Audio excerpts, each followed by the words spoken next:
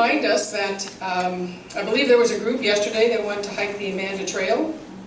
And that is a reminder that we stand on the land of the first people of Florence, the Siuslaw Indians, for which that Amanda Trail is really designated for.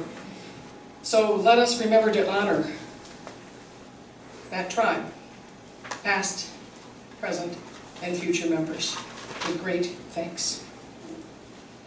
We're going to open today with Spirit of Life. We sing this song every time, and it's hymn number 123 in the book, or the words are in the program. However you feel comfortable, uh, if you can rise, and let's sing Spirit of Life, if you so choose.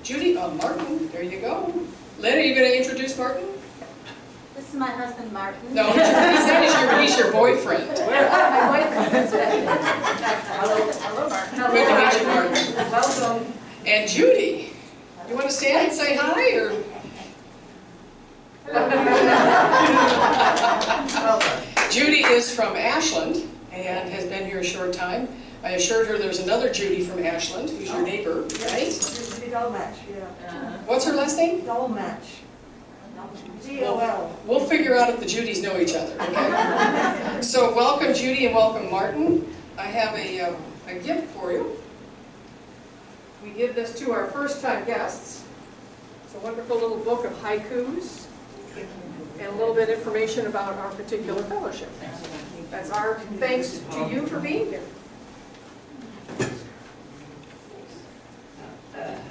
Um, So following today's talk, Dean will be hosting a dialogue circle, is that right, Dean? Yes. Back in the library. It's an opportunity to gather together, talk about his message or any part of the program to deepen your learning and to gather in a smaller community.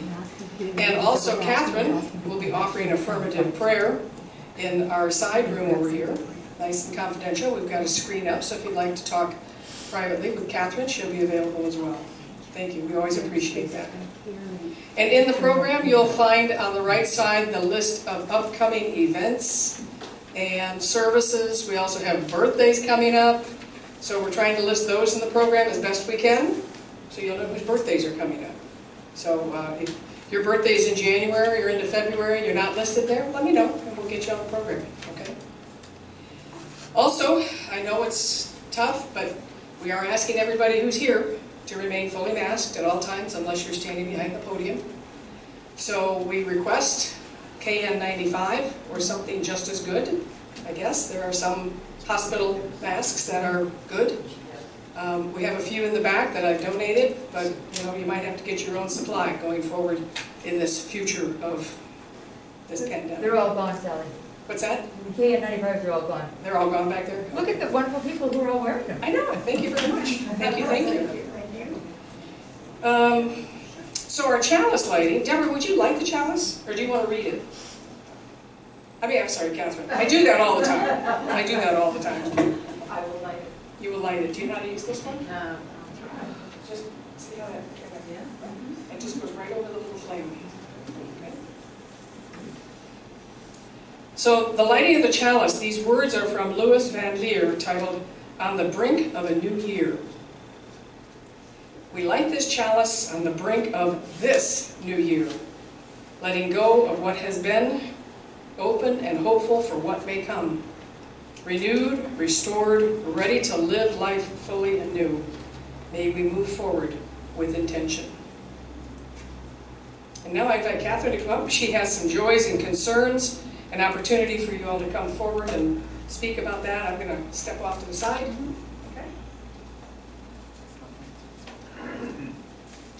Good morning, everyone. Good morning. This is the part of the service where we share our joys and concerns. Sally is, is here. If you have anything to share, she'll hand you the microphone. Yes, ma'am. And she will also, or you can also, drop a shell into the cleansing water. These joys and concerns allow us to connect to comfort and support with each other, to share unexpected joys and intentions fulfilled. Does anyone have anything today? Please come up. Make a line around here. Turn around that way. Mm-hmm, please. Or you can just... We have a very full program today, so we hope your joys and concerns can be shared quickly. Well, we, we skipped announcements, so this is, So here, I'm going to give you the microphone again. all right, yeah. Um, It's more of an announcement, but it's also a joy and a concern. And, yeah, I'm gonna talk through my mask, not to be confused with talking through my hat. Um, Happy New Year, everybody, and mark your calendars, because in exactly three weeks, uh, the 23rd of this month, uh, we have a panel discussion on climate change called Climate Change, What Can We Do? It's going to be at St. Andrews, uh, which, that's the Episcopal, Yes. and uh, it's over at, uh, over on 19th and Spruce. And uh, I'll say a little bit about who we have coming. Uh, Mark Nystrom, is from- who's the Lane County climate strategist, will be speaking and presenting uh, some material. Grace Brailer, who's from Beyond Toxics. Mike Allen from Florence Emergency Climate Campaign. And uh, Cody Kleinsmith, for- who's a climate resilience analyst. Also, I'm working on getting a film from the Siuslaw tribe uh, called Wisdom of the Elders. And if you haven't seen that, it's, it's excellent uh, presentation from a native point of view on, on the climate issue. So, uh, hope to see everybody there and uh, uh, spread the word. I'll leave some flyers on the table there. Thank you, Mark. And we'll get that into the newsletter, right, Mark? Mhm, Okay. mhm. Yes, ma'am. My name's Ashley, and wanted to shout out, and y'all send some positive thoughts. Miss Rama is in the hospital again, and not sure when she's gonna be coming back. She's over in Riverbend. But just send out some uh, good energy and juju. Thanks. Mhm. Jean? Thank you, Ashley. Thank you. Really appreciate that. Morning, everybody. I hope you're all in good health. mouth, Right up to your mouth, so we can hear you. Oh? Mhm. Um, I thank, I, I put out gratitude last week for the people that have been in support of this mess. But, um, I did not thank some really important people that showed up, volunteered to drive me back and forth to Eugene, which I know is a royal pain in the butt, and you did it anyway. God bless, God bless, God bless. You know who you are. Thanks. Thank you, Judy. Um, Can I share something about, I think, Marcia? Absolutely. Marcia, I talked to Marcia the other day, and she is putting her home uh, in Green Trees for sale and has a place at Spruce Point. Mhm. So she'll be, did you know that? Yes, I do. Oh, you did? You're so smart. Um, So the joy is that she's going to be in a safe place, a place that can offer her guidance and help. Mhm. And uh, so anyway, this is for Marcia. And Marcia um, gave us some books that we will use from going through them now. I took all of them and I'm just going through them and some that are really great science of mind, metaphysical books that we'll add to our library. So thank you. Excellent. Anyone else? It doesn't look like it. So the last shell is for all those we don't know about. All those, you know, those who are too shy, those who are just too much in pain to talk about it. just those that aren't really ready to come out yet, you know? So you are totally contained and embraced in our loving circle. I'm going to end with a, it's a simple quote, but I really liked it this morning by Reverend Christine Green. She's a uh, science mind minister. We don't need to know how things will change. We just need to be willing. Be willing to be held accountable for our own healing. Be willing to have the difficult conversations.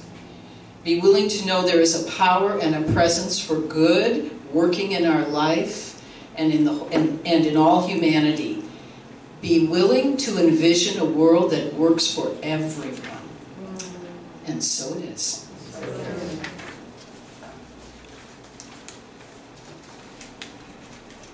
Yeah, the theme that the Unitarian Universalist Association has selected um, is, for this month, the power of intention. So you'll be hearing about intentions a lot the upcoming Sundays, um, right here, um, on, on intentions. So that's exciting. So we also have an intention Uh-huh. of never stopping, always going forward. And it's my pleasure to introduce Karen Hernandez, who is our membership chairman. And we have the privilege of introducing not one, not two, but three individuals who wish to join our fellowship. So I'm going to start this off, and Karen and I are going to tag team. Yeah. Do we want to bring them forward now or later? Later. Later? Later. Okay. So sit tight wherever you are, and you know who you are. They do. They, they all know who they are. They all know who they are, okay. There are some among us who have indicated their desire to join us on our journey. We charge them to actively share with us their creative thoughts, their vital experiences in life, their questions, their doubts, and their discoveries. We charge them to shake us up with their honest thinking, to stir us with their conscience, and to stimulate our hopes with their dreams about what together we in community can be. With these folks, we will continue to enhance our religious home, to ensure a warm and loving community, a safe place to grow and explore our spirituality, and to help to maintain a firm footing in a strong, liberal religious heritage. To ensure and maintain these valued benefits, we ask these folks to uphold their responsibilities as called out in our bylaws. Quote, to support the mission of FOOF, that's the Florence Unitarian Universalist Fellowship for those who don't know, make a recorded contribution in the form of time, talent, and treasure, and agree to be bound by FOOF bylaws and sign the membership book. Aye. Finally, we ask each to commit to the covenant of behavior we've established for this congregation. It is my pleasure to introduce you to, and as I call your name, please come forward. Ashley Page, Ashley Page, Diana Gibson, Diana Gibson, oh. and Lynn Hughes. and Lynn Hughes. Come on over here. Come on over here. Come on over here. This is Ashley. Diana's next. And Lynn. Okay, so first I'm going to talk a little bit about Ashley. Fitting. Well, you know, you know, Ashley and Diana have been around for a little while, and, and you know, Ashley has made her presence known. she, she's not a quiet human being. But, um, so, what I'm going to say about her is she was born and raised in Georgia. Take a look at the sweatshirt. She's a big Bulldog fan. As an adult, Ashley has lived in many different places in the country. Ashley and Diana met online in 2015 and married in 2016 in New Mexico. They knew they were soulmates. As many of you have already discovered, she never met a stranger. She's a stay-at-home wife who volunteers frequently at Food Share, and Food Share benefits greatly from what she's doing. She's very funny, she reads a lot. Anything else you want to know, just ask her, she'll tell you. It might even be true. And in the middle, we have Diana Gibson. Diana's from Tennessee, but spent much of her childhood in East Africa where her parents were missionaries. She too has lived all over the country and is a, and Diana naturally came to Florence because she is a nurse anesthetist for Peace Harbor. Yay. And they came here for that job that Diana has. Um, she loves to cook and garden, and the flowers outside our front door are being tended by Diana and Ashley. So thank you for that.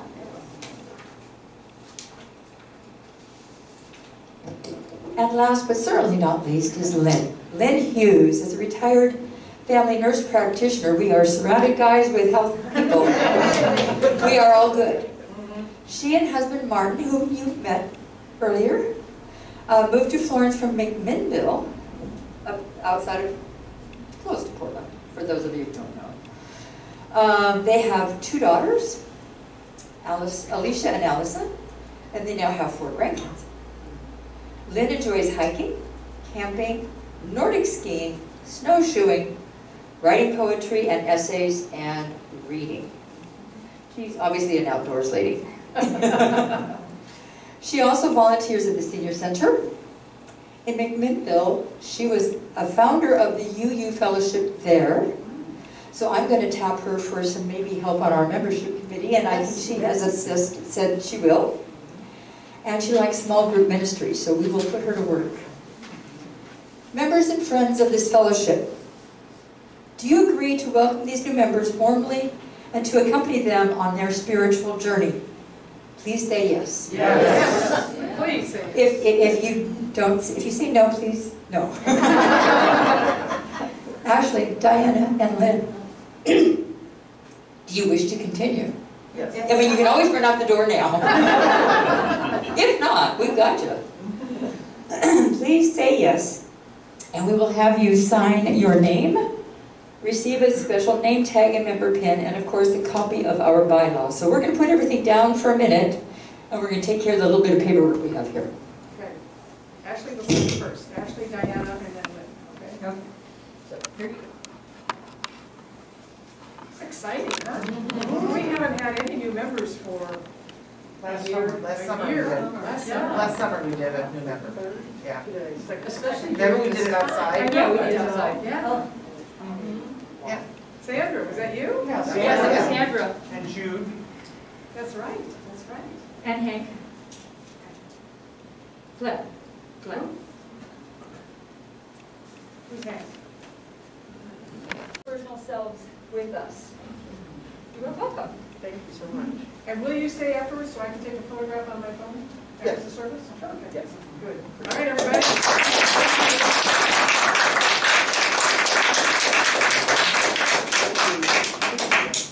That's exciting. That's exciting. So, you know, anyone really can join our fellowship, just have to let your intentions be known. If we don't drag you in and ask, you can certainly share, okay? That's lovely, thank you. So moving on in our program, Dean Shrock has provided me with a wonderful reading from Neale Donald Walsch's Conversations with God, Book One. I wish to share this with you. I- I've read it several times, I think it's fabulous, so thank you. The promise of God is that you are His son, her offspring, its likeness, His equal. Ah, here is where you get hung up. You can accept His son, offspring, likeness, but you recoil at being called His equal. Is it too much to accept? Too much bigness? Too much wonderment? Too much responsibility? For if you are God's equal, that means nothing is being done to you, and all things are created by you. There can be no more victims and no more villains, only outcomes of your thought about a thing. You are a human manifestation of me, God, constantly creating your version and vision of life. I tell you this all you see in your world is the outcome of your idea about it.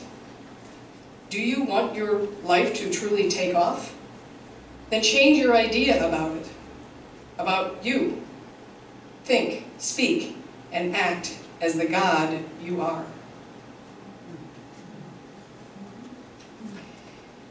Uh, we're going to sing hymn number 121. It's called We'll Build a Land. It's in your hymnal. Jeff will be our accompanying guru over there. For those of you who don't know Jeff Lovejoy, yay! He sings and performs around Florence, and we're lucky to have him here this Sunday. So rise as you are able. We are going to sing We'll Build a Land, number 121. All four verses? Two, verse two. First two verses.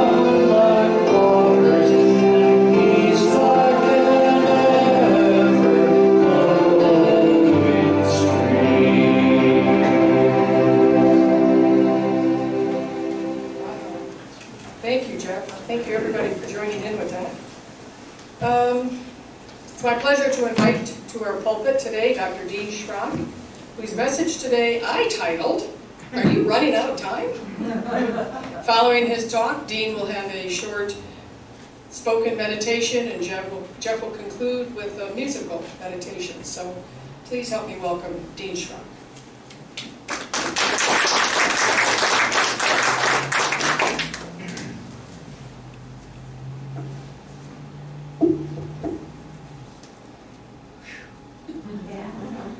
Thank you, thank you.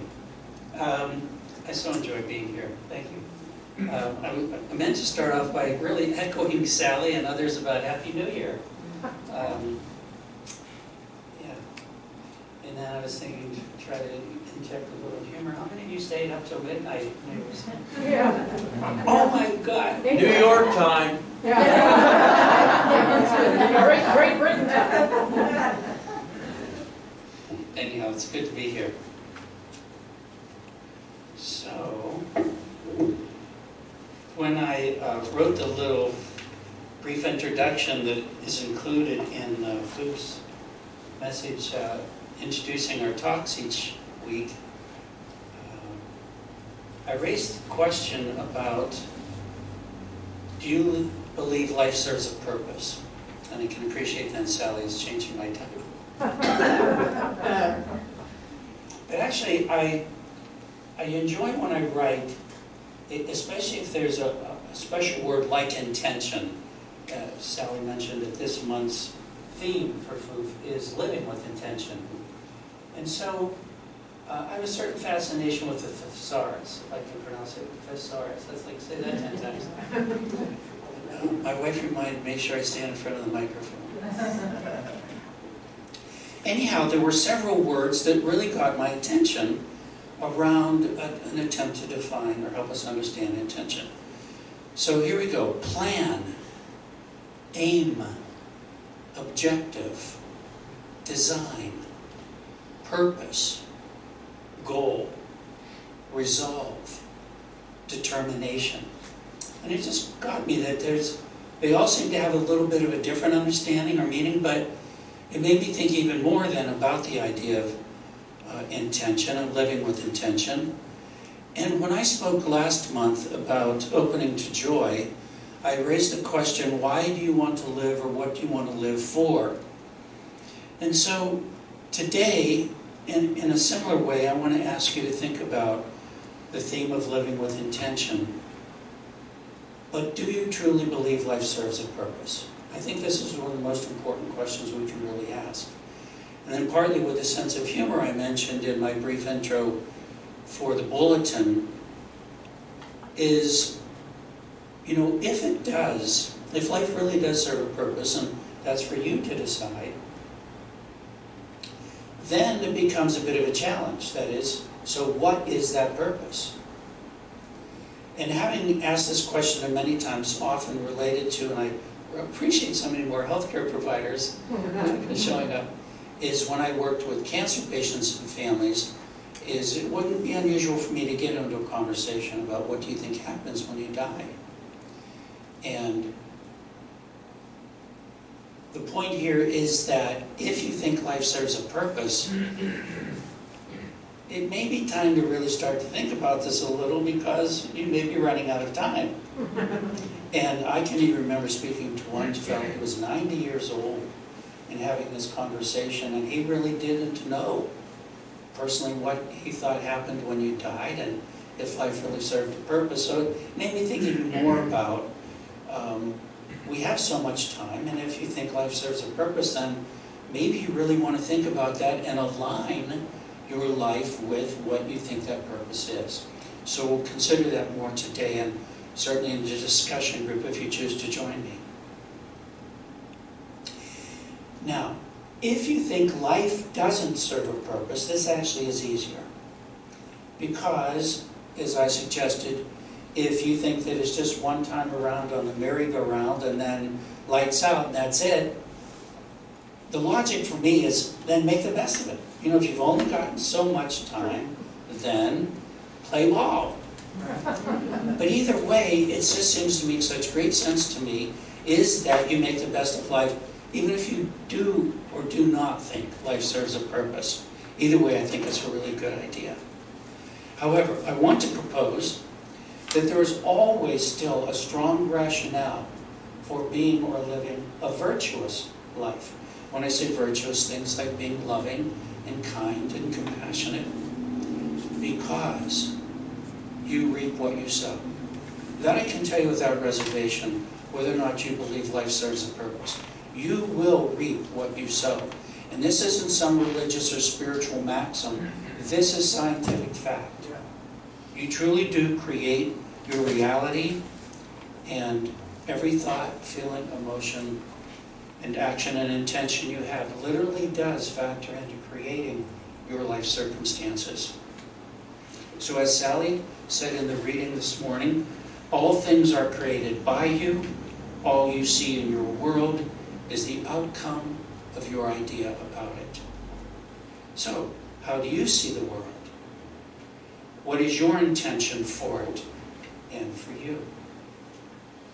So I thought it would be especially appropriate as a way to begin to help think about a purpose of life and what you might intend is to remind you the Unitarian Universalist congregations affirm and promote seven principles which we hold as strong values and moral guides.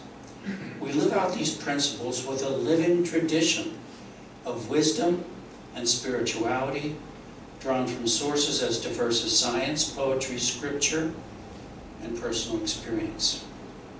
So, here are these principles as you may want to think about living a life with intention and purpose. First principle the inherent worth and dignity of every person. Two, justice, equity, and compassion in human relations. Three, acceptance of one another and encouragement to spiritual growth in our congregations. Four, a free and responsible search for truth and meaning.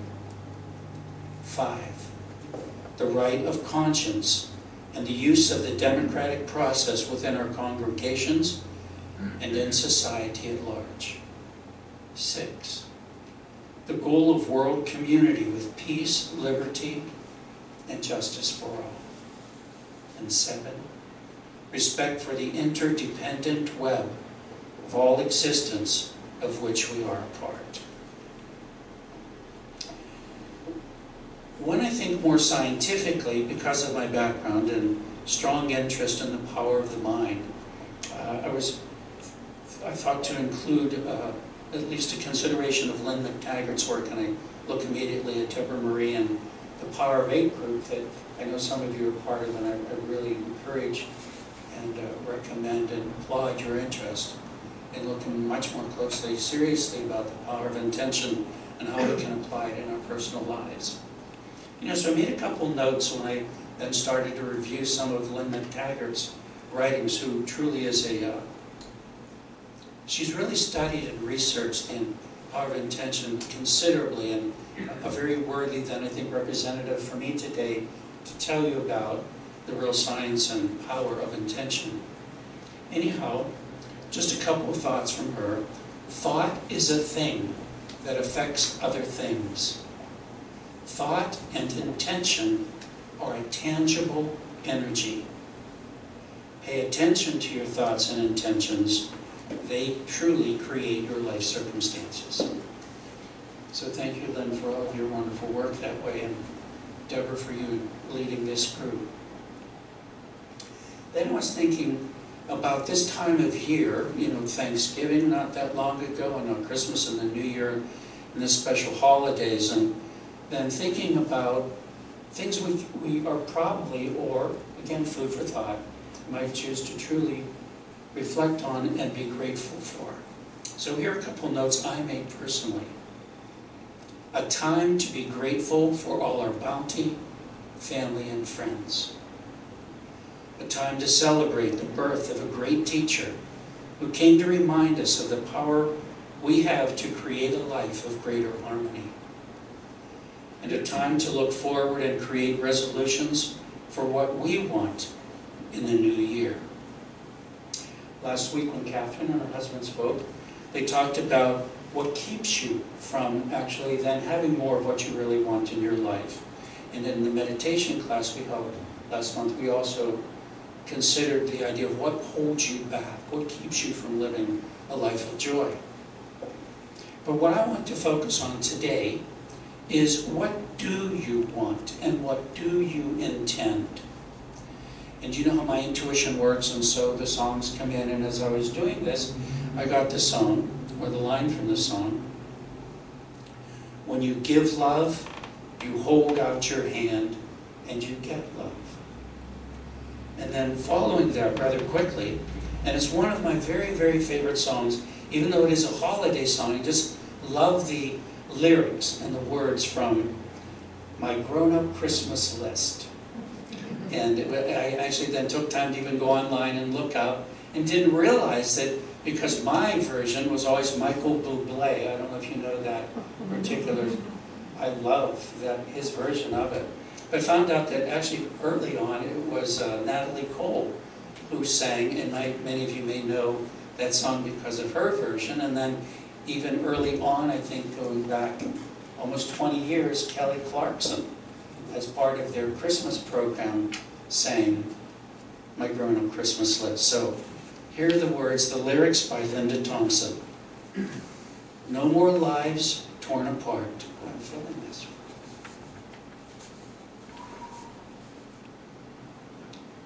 That wars would never start. And time would heal all hearts. Everyone would have a friend and right would always win, and love would never end. Thank you, Linda Thompson. So now, I want to, um, to introduce now my uh, guided meditation, but just one last thing. I, I pay attention to things come up when I'm sitting down to try to organize this, and especially things I read about during that week. So, just one last quote. The purpose of our lives is to be happy, or so says the Dalai Lama. So now, if you will, please make yourself comfortable and then close your eyes. I'd like to lead you in a guided meditation and then when I finish, Jeff will start to play music or really then want you to take time on your own to consider the idea of life serving a purpose and what do you intend. Thank you. This is from Conversations with God, Book 1 also. There is only one purpose for all of life, and that is for you and all that lives to experience fullest glory. Everything else you say, think, or do is attendant to that function. There is nothing else for your soul to do, and nothing else your soul wants to do. The wonder of this purpose is that it is never ending. An ending is a limitation, and God's purpose is without such a boundary. Should there come a moment in which you experience yourself in your fullest glory, you will, in that instant, imagine an even greater glory to fulfill. The more you are, the more you can become, and the more you can become, the more you yet can be. The deepest secret in life is not a process of discovery, but a process of creation. And to follow that with a channeled message from Abraham and Esther Hicks, we want you to understand that you are a powerful creator and you have the ability to be or do or have anything you desire. But you have got to begin by creating a vibrational atmosphere or vibrational climate or vibrational nucleus. Make yourself the vibrational starting point. When you start in a gentle place of non-resistance, Jesus called it meek, the meek shall inherit the earth. When you are in this place of soft, non-resistant vibrational well-being, everything that you desire will come into your experience. What do you choose to create? What is your intention for the new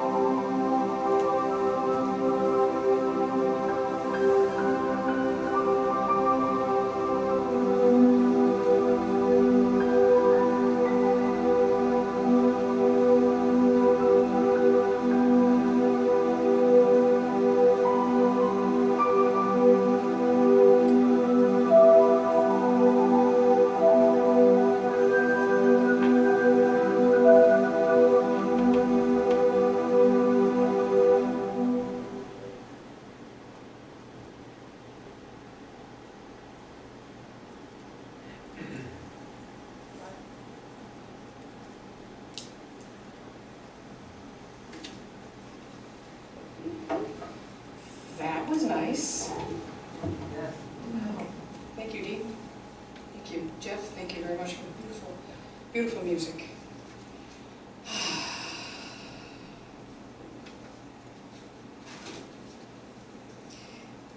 We have become accustomed over the years to practice an offering that not only gives back to our community partners, but also gives back to ourselves.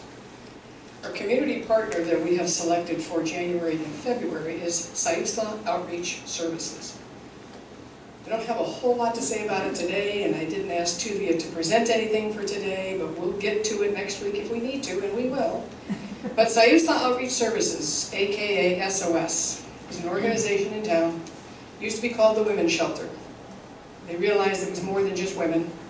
This is families, this is men, women, children who are in need of services, whether it's financial aid, whether it's a sleeping bag, whether it's a, a, a chit to go to the laundry, whatever the case may be, Siuslaw Outreach Services is there to provide a safety net for many of our less fortunate people in Florence. So we ask that you consider a contribution to SOS today. As well, this particular fellowship, because we are self-governed by a democratic process, one of the privileges of our free church is a tradition to provide all of the financial support, support for the many services we have, the ministries from among ourselves. Generosity towards SOS and FOOF is one of the spiritual values we recognize as central to our personal and our institutional well-being. You are now invited to participate in the blessing of giving as I ask maybe George will on this side and Catherine will you on this side help us pass our basket to accept the gifts of the congregation. Now, pay attention. We have two baskets. One side says Florence Unitarian Universalist Fellowship. The other says SOS. Got it? Jeff's going to play some lovely music as we pass this around, but before we begin, I ask that you repeat after me. Divine love through me. Divine love through me. Blesses and multiplies all that I am. Blesses and multiplies all that I am. All that I give. All that I give. And all that I receive. And all that I receive. I am prosperous now. I am prosperous now. Blessed be. Blessed be. Catherine, will you start us?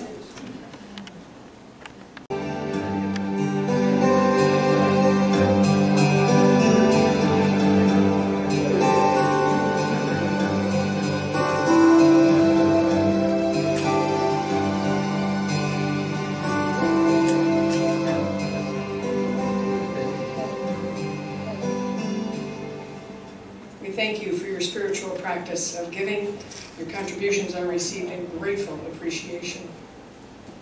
I invite Catherine to come back up to extinguish our flame as you enjoy these closing words.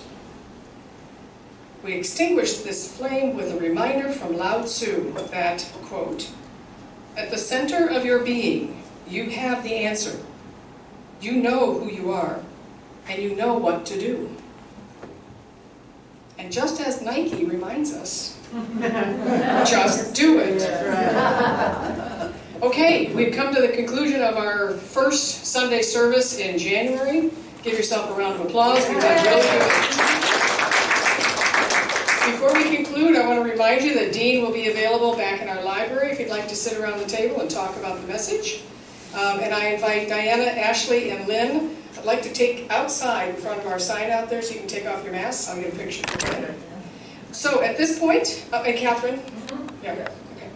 If you would uh, rise, circle around the chairs, and let's sing our peace song. The words are on the back. We don't have the music anywhere, so you have to just kind of follow along. And we're going to sing the peace song.